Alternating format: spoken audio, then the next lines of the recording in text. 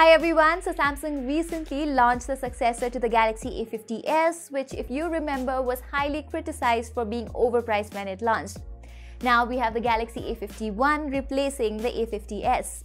I've had a few days with the A51 wherein I have developed some impressions of it and that is what I am going to be talking about in this video. So let's get started. Okay, first things first, the design of it has taken me away. Like seriously, I would really like to know how Samsung hits the nail with their designs like this. This one looks like a much better version of the A50s. And this color, just wow. I am also quite impressed with the fact that the phone is so light, thin and ergonomic all at the same time. But don't be mistaken by the looks of it, it's not glass. Samsung calls it Glastic, but I truly think it's plastic. The sides feel sturdy like metal, but I've not exactly been able to guess what it is. Anyways, these 3D holographic cut patterns look amazing.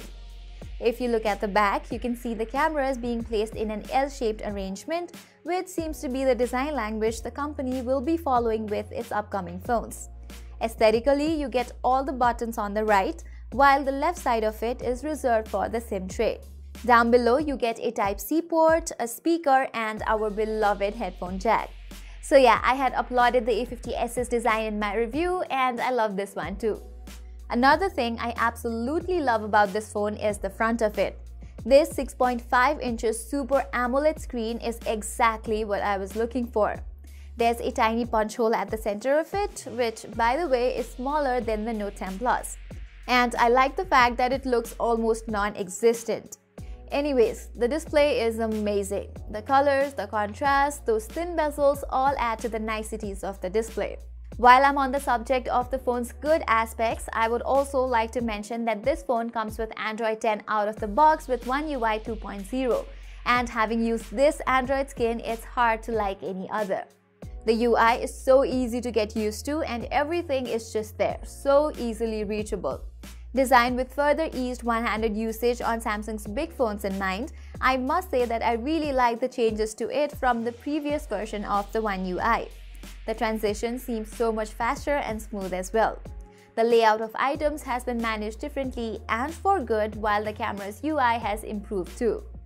Overall, the UI looks more colorful and more managed, and have always complained about One UI being slower on Samsung's budget and mid-range phones, and finally Samsung seems to have listened. But I would like to clarify that the A51 that I've gotten to use is a preliminary unit, so the experience might be even better when the phone hits the store. This is because the uh, first batch of review units don't come with the final version of software installed in them. Now it's time to talk about the performance and I have literally never seen Samsung give the most compelling chipset in their budget and mid-range lineups and the story continues with the A51.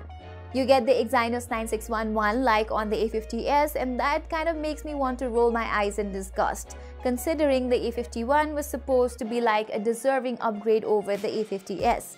Having said that, with that improved UI, you will get better performance than the A50s for sure. However, what Samsung is still pathetic at is the implementation of a faster fingerprint sensor. I really do hope they improve on this, and with haste. Now getting to the cameras, I don't want to give my final judgment based on the review unit I have, but as far as I've tested, I think the cameras are one of the best things about the device. The optimization seems to have improved and you also get a new camera UI which looks more subtle than it was. Now talking about their specs, you get the same primary lens, a 48 megapixel one, then you have an improved 12 megapixel ultra wide angle lens, a 5 megapixel depth sensor as before, and an additional 5 megapixel dedicated macro lens. The macro lens seems better than the ones from Realme or Redmi, just slightly so. I have clicked a few pictures from it and here they are. Take a look and judge for yourself. The primary lens works just as good. The colors on it are punchy and the details are on point. I clicked the samples on a clear sunny day and wow, they look absolutely amazing. What I like about Samsung devices is that they have the best optimization for skies and greenery. Again, though these images look good, they might be much better in the retail units, which I will test and tell you guys in my full review. As for now, these are the wide-angle images. They are sharp and have fuller colors.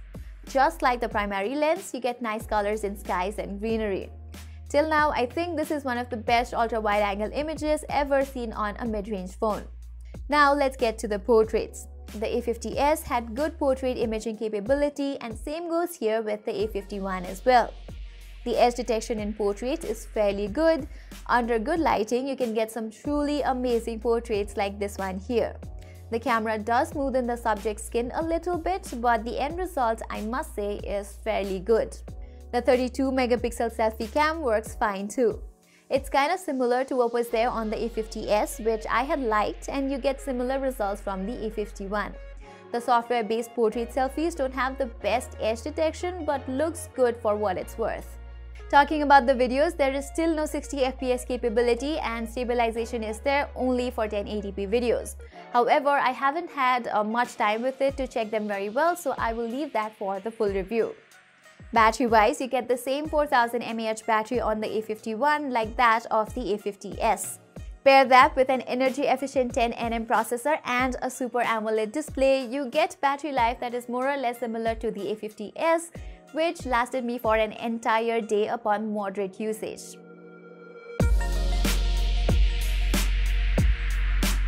So if I have to give my final impression on the Galaxy A51, I would like to applaud Samsung for giving such a premium looking phone at a mid-range price segment. Similarly, the display with its flagship-like punch hole and uh, Super AMOLED panel looks very attractive. The UI has been upgraded for good and it is faster and smoother than ever. Similarly, the cameras also look very promising as far as I've tested.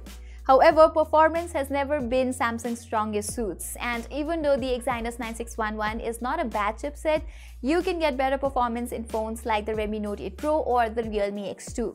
So overall, I think the Galaxy A51 is a good choice, but not the wisest when it comes to performance.